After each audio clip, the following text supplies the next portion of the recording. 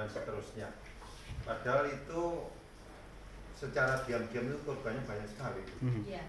Mungkin seperti halnya di rokok itu kan sudah ada yang namanya peringatan merokok membunuhmu.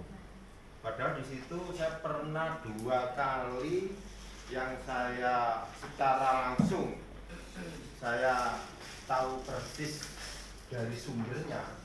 Yang pertama itu ada murid kebetulan kelas kelas 3, dulu masih kelas 3 SMP itu meninggal karena gagal ginjal dan ibunya cerita betul kebetulan ibunya itu meracak tiap hari anak ini konsumsi yang namanya marimas, ekstrajer dan seterusnya. Hmm. dan bahkan ditempatkan duduknya di sini nih. Itu akhirnya dia gagal ginjal. Yang terakhir kemarin